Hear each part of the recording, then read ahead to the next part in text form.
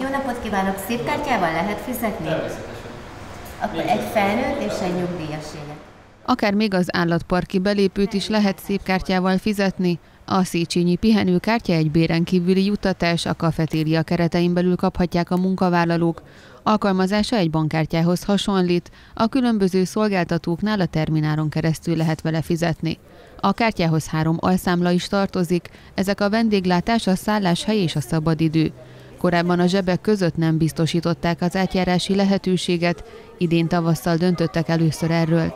Akkor Tálai András államtitkár úgy nyilatkozott, az alszámlák közötti átjárhatóság egy kettő az egyben intézkedés. Nem csak a mintegy egy millió foglalkoztatottat támogatja, hanem a turizmust is, mivel az ebben az ágazatban tevékenykedő vállalkozásoknak nagy szükségük van az állami segítségre, hiszen ez volt a koronavírus járványnak leginkább kitett ágazat.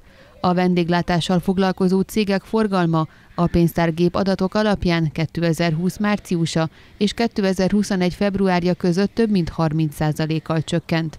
Kedden újabb döntést hozott a pénzügyminisztérium, így nem 2021. december 31-éig, hanem 2022. szeptember 30-áig biztosítják az alszámlák közötti átjárhatóságot.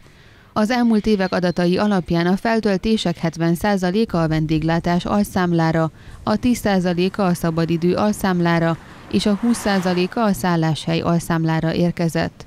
Az intézkedés annak ellenére szükséges, hogy az online pénztárgépek adatai már kedvező képet mutatnak. A vendéglátás forgalma ugyanis például 2021. október 30-ától november 5-éig tartó 7 napban 16,6%-os növekedést mutatott a 2019. év azonos időszakához képest, olvasható a minisztérium közleményében.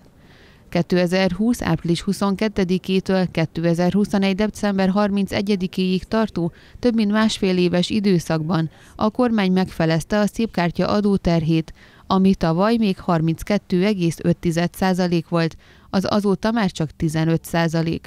Az adókönnyítés idén összességében 41 milliárd forintot hagyhat az érintetteknél.